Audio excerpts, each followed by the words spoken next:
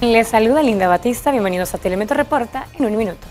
El presidente Laurentino Cortizo entregó resoluciones de viabilidad de 304 proyectos a municipios y juntas comunales por más de 17 millones de dólares para la construcción de acueductos rurales y mejoramiento de caminos. Esto permitirá a los municipios iniciar procesos de licitación y ejecución mediante fondos de descentralización.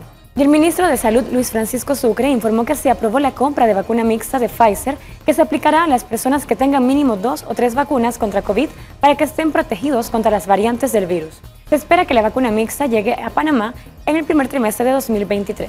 Y fue sancionada la ley que establece gratuidad en el servicio de atención de salud para mujeres durante el embarazo, parto y porperio en establecimientos de salud públicos. Según la norma, el MINSA se encargará de establecer un sistema de preferencia funcional. Este fue resumen informativo, será hasta la próxima.